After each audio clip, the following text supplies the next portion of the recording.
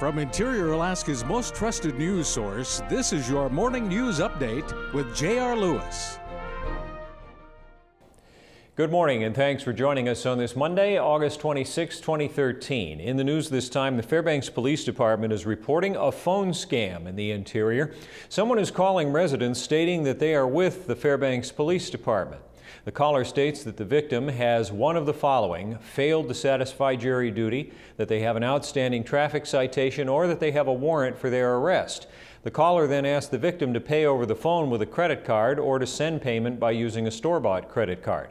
FPD says this is a scam as neither they nor any other local law enforcement agency will solicit payments over the phone. If you've received any of these recent calls, please contact FPD at 450 6500 to report the incident.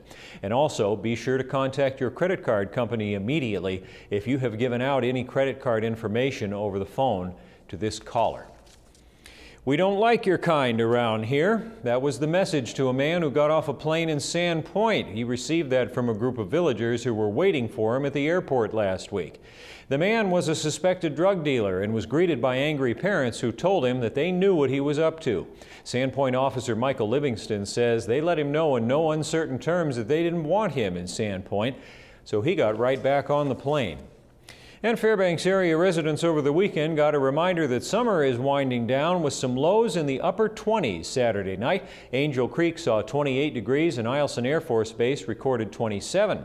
The College Observatory at the University of Alaska Fairbanks recorded 29 degrees. And a quick look at our current Fairbanks weather. Today it's sunny, highs in the mid to upper 60s. Tonight mostly clear with lows in the mid to upper 30s. Tomorrow sunny again with highs in the mid to upper 60s. But the extended outlook has clouds and showers Wednesday into the weekend.